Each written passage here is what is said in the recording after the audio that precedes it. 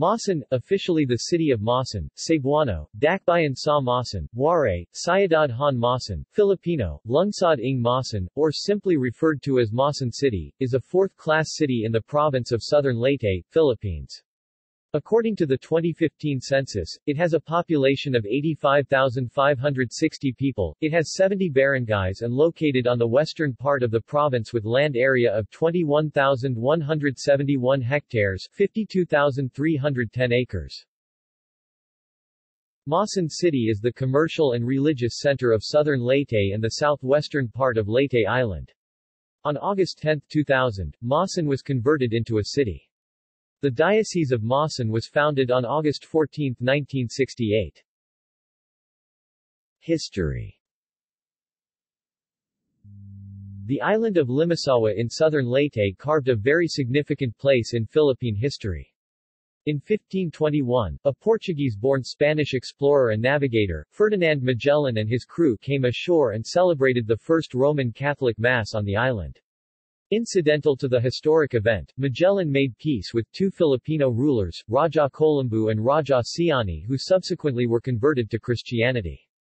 A marker notes the spot on Limasawa where their blood compact of friendship and alliance was sealed. Southern Leyte, for centuries, was actually an integral part of the island of Leyte. During the Spanish period, the region was sparsely populated. Continued Moro slave raiding discouraged the establishment and stabilization of other large towns. In the 19th century, immigration from the provinces of Cebu and Bohol increased the population of the region and opened the land towards farming. One of the oldest towns in southern Leyte is Maasin, nowadays called Maasin City. Little is known about its pre-Spanish existence. When the Spanish missionaries became active in their missions, they discovered that the Maasin community was already organized, with its people friendly and interested in embracing the Catholic faith. The community was formally established as a parish by the missionaries of the Society of Jesus in the 1700s and was called Nipa. This was authenticated by a piece of stone from a long-destroyed convent that bears the inscription Pa, de Tagnipa, Año 1776. The renaming of the town of Maasin is related to the incident when some Spaniards, who needed drinking water, scanned the shorelines and found Cantaring River. They asked the natives in Castilian Spanish while gesturing towards the river. ¿Qué pueblo es este? Without hesitation, the natives answered, Maasin, meaning salty, thinking that the Spaniards were asking them how the water tasted. From that time on, the place has been called Maasin. The town grew rapidly in the 1700s after the Jesuit priests built the first church of which ruins still exists today between the two districts of Abgao and Mantahan. The Jesuit administration prevailed from 1700 through 1768. Subsequently, Augustinian fathers took over the parish from 1768 to 1843 during which the townspeople, with the guidance of the Spanish ecclesiastical authorities, built the town's second concrete church located approximately one kilometer away from the ruins of the first one. The church stands to this day, although it underwent several repairs and renovations on account of damage wrought by the forces of nature and man-made events. In 1843, Franciscan missionaries took over the parish and managed it until 1896 when they were forced to abandon it due to the revolution. A native clergy took over thereafter. During the Spanish regime, Maasin evolved and became an organized municipality. It became a busy seaport which maintained trading with nearby islands of Cebu, Bohol, and Mindanao.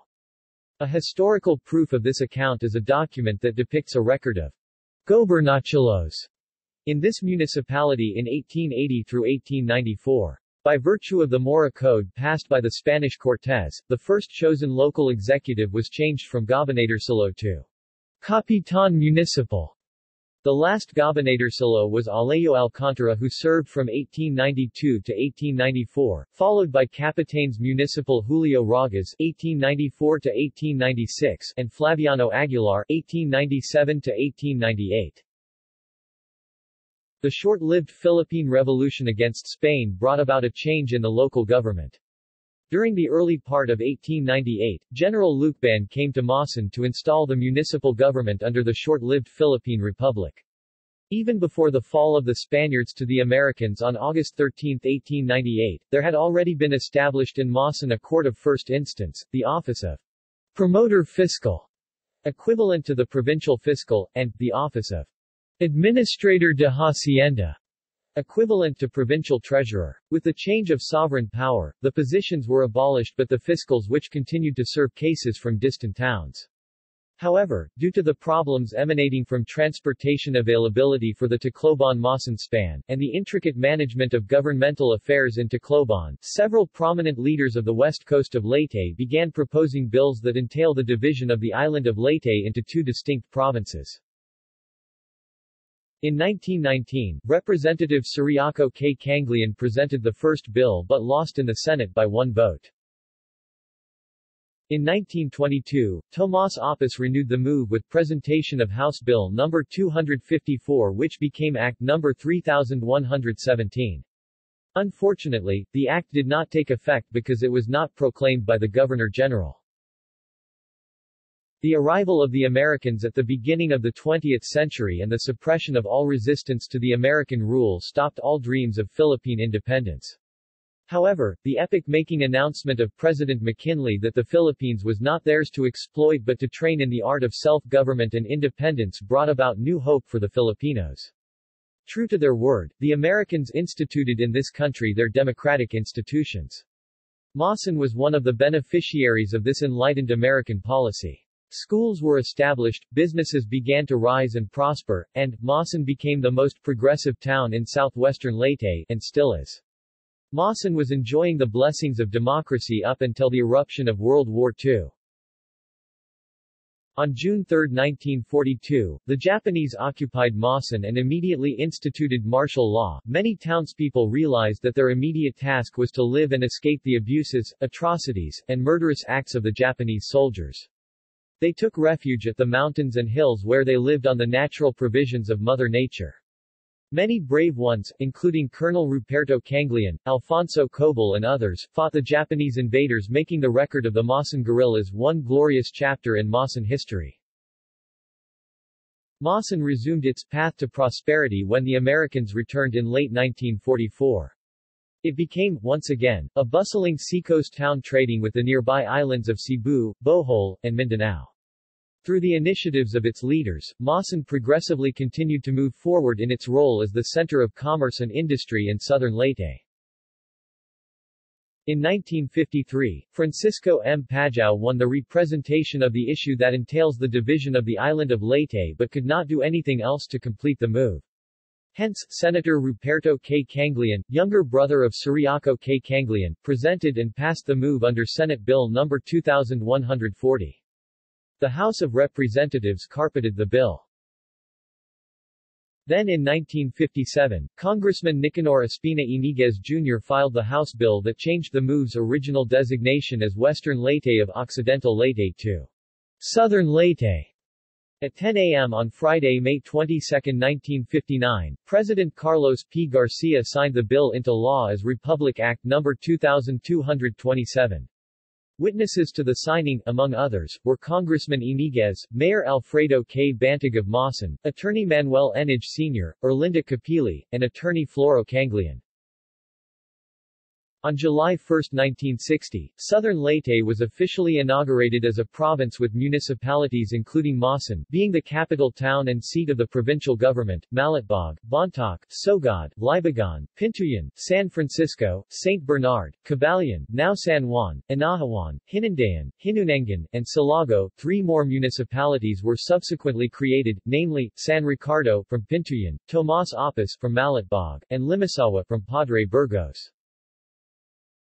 Maasin continued to progressively prosper for decades. On April 8, 1998, Congressman Aniceto G. Saludo Jr. filed a move under House Bill No. 7201 to convert the municipality of Maasin into a component city of the province of Southern Leyte, thus becoming Maasin City.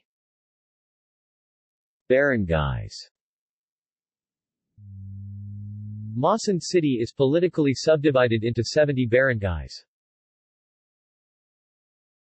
Demographics Language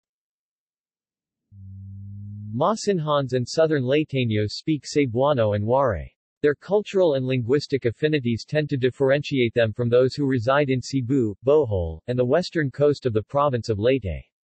Most of the people are farmers and fishermen who are noted for their hard work and frugality. Religion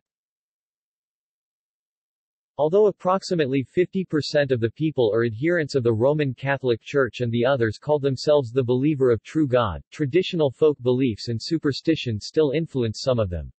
Some farmers are also known to hold on to pre- and conservative beliefs in making offerings and sacrifices before planting season starts. At times, chickens or pigs are ritually offered in hopes of enticing spirits for a fruitful harvest. Topography the terrain of southern Leyte is characterized by relatively flat lands along the coastal plains where population areas lay, and becomes rugged and mountainous towards the interior. It has numerous small rivers in addition to, at least, 11 major rivers which include Cancharing River in Maasin City, Amparo River in Macrohon, Divisoria River in Bontoc, Subong Daku in Sogod, Lavigan and Hitongao Rivers in St. Bernard, Camago River in Hinundayan, Magkasa River in San Juan, Das I and Pondal Rivers in Hinunangan, and Mog River in Silago. Climate even though March to May is considered hot and dry with temperatures ranging from 22 to 32 degrees Celsius, in general terms, the province actually has no dry season. This is due to rainfall more or less, distributed throughout the year. June to October is mostly rainy, whereas, November to February is cool with temperatures ranging from 22 to 28 degrees Celsius. Year-round, average humidity is about 76%. Roads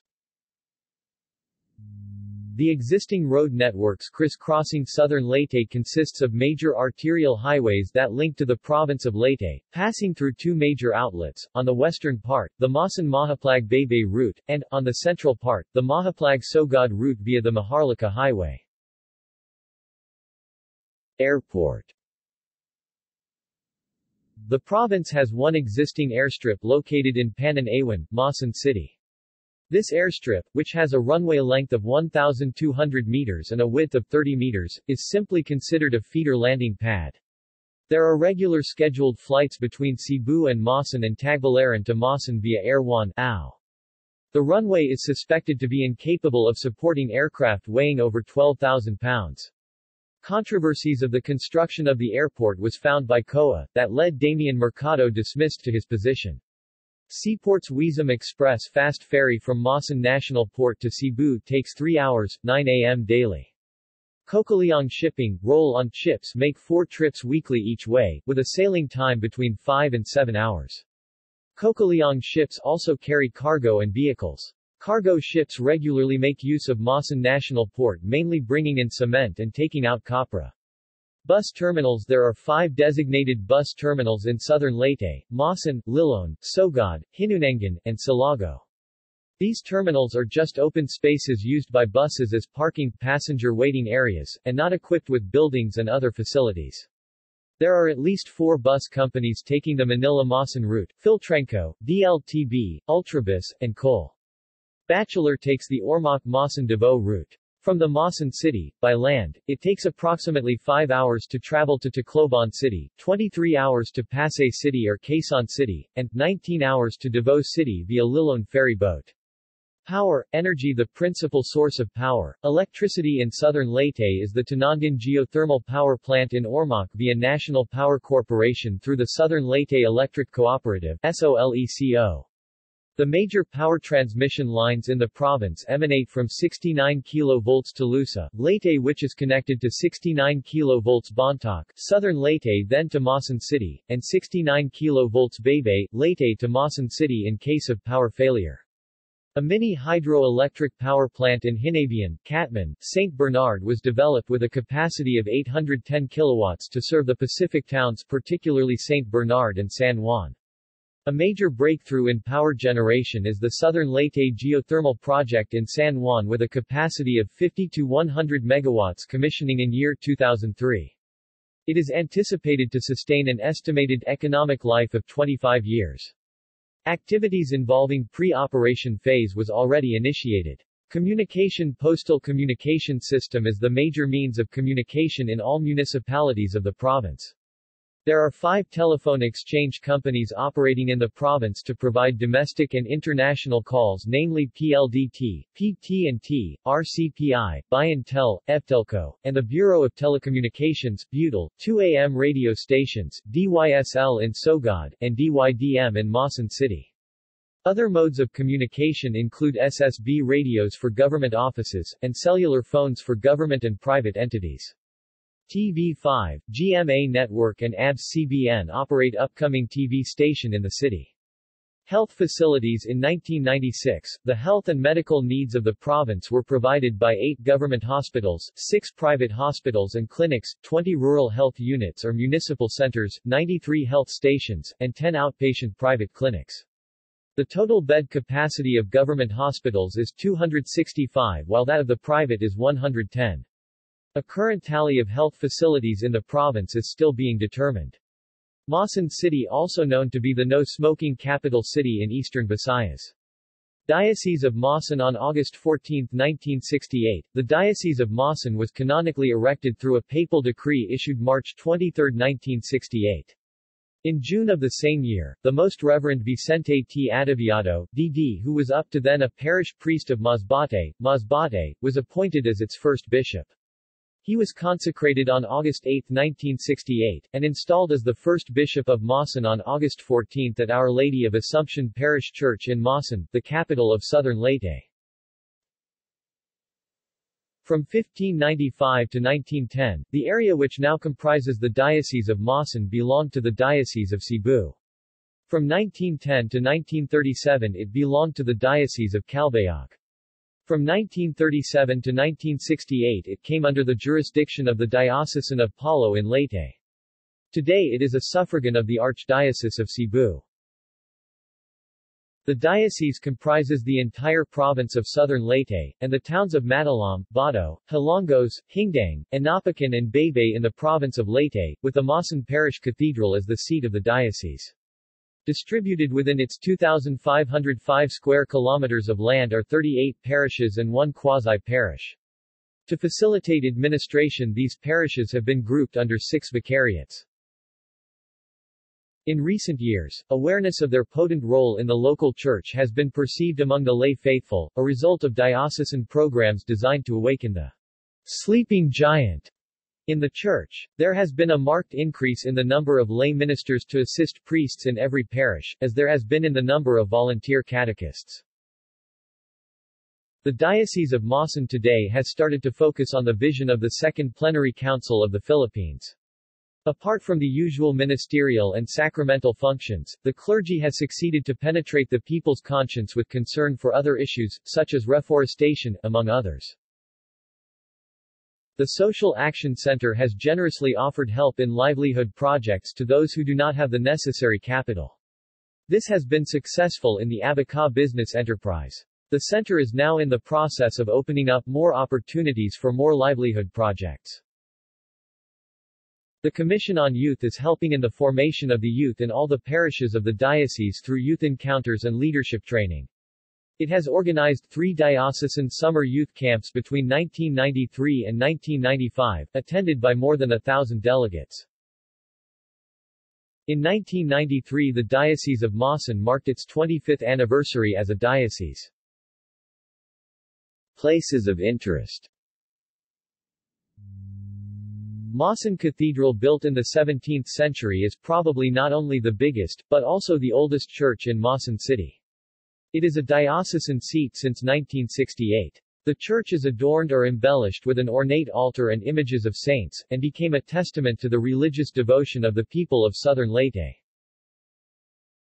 Don Anatalio Gaviola Plaza, which is dedicated to then mayor of Maasin. It still is one of the highly recommended stumping points for tourists as well as for locals.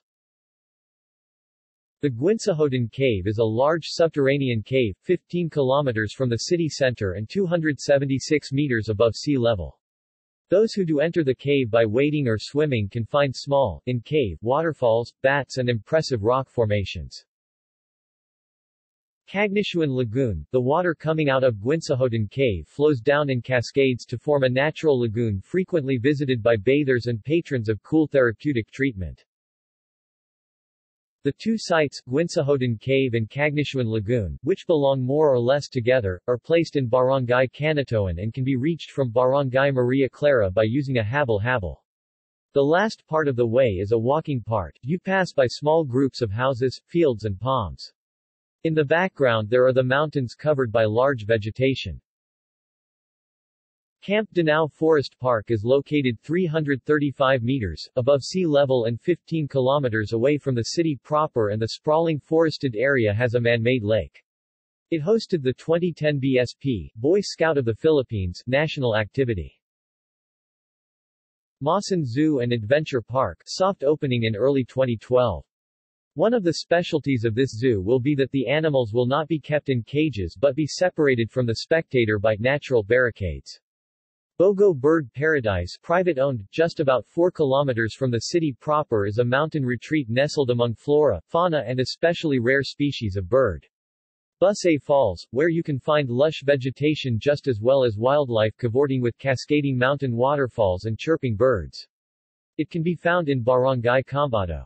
Sadly, this former completely wild and dreamlike part of nature is victim of fast economic expansion, so water quality is not as good as years ago and the former wild lagoon was removed by a pool.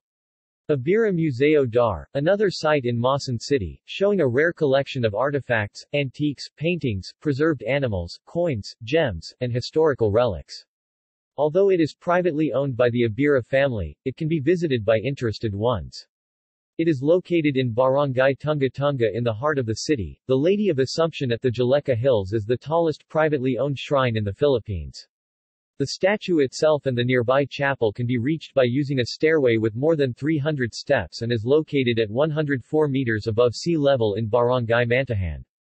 It is one of the most visited religious landmarks in Maasin City and in southern Leyte. This impressive landmark can be seen from far not only during daytime, but also at night as it is illuminated. San Francisco Javier Pilgrim Center, a miraculous chapel 400 meters above sea level which can be found in Barangay Hanginan, 7 kilometers from the city proper. It can be reached by an hour-long trek to the top through a foliage of trees and wild shrubs. It is said that every petition is granted and every prayer spoken is answered. Monte Cueva Shrine, also known as the Shrine of Our Lady of the Assumption and the Most Precious Blood of Jesus, is a donation by the philanthropists oh Odong and Loring Chung to the Diocese of Maasin. It offers a refuge to pilgrims and devotees. A 30-foot Marian icon perches from a highland over the Via Crucis and Resurrection. A cathedral within the cave is the Coup de Grace to the Natural Wonder, situated 2 kilometers from Maasin City. Transportation Transit Bus Companies, Series Tours Ultrabus Silver Star Bus Philtranco Bus VELMAR Bus Line Eagle Star Bus Coal Transport DLTBYZ Transporter Shipping Companies, Cocaliong Weesam Express Shopping Centers Gaisano Metro Maasin for expansion on 2018 Gaisano Grand Mall Maasin under construction City Hardware First INSA Leyte Novo Department Store J&F Department Store Prince Hypermart Maasin 578 Emporium Maasin Broadeth One Stop Shop Boss J&C Lucky 99 Store Maasin Maasin Star JW Enterprises Hem Enterprises Fashion World Maasin Branch Grab and Go Maasin F&F Forever Banks Bank of the Philippine Islands BPI Family Savings Bank Metrobank Land Bank of the Philippines East West Rural Bank formerly Green Bank Asia United Bank East West Bank Rural Bank of Maasin Southern Leyte Inc. RBM Banco de Oro. China Bank. Philippine National Bank. Network Consolidated Cooperative Bank NCCB First Consolidated Bank FCB Development Bank of the Philippines. Rizal Commercial Banking Corporation Health care. New Provincial Hospital, Dongan, Maasin City. Living Hope Hospital. Sacred Heart Hospital. Maasin City Health Unit, 3 branches. Maasin Maternity and Children's Hospital. The College of Maasin Maternity Clinic. Malaya Medical Clinic Abira Medical Clinic Our Lady of Assumption Parish Dialysis Center Maasin Dental Spa Dental Clinic DMD Toothworks Dental Clinic and Diagnostics. References. External links. Official website of Maasin City Official administrative website of Maasin City. Philippine Standard Geographic Code. Philippine Census Information. Local Governance Performance Management System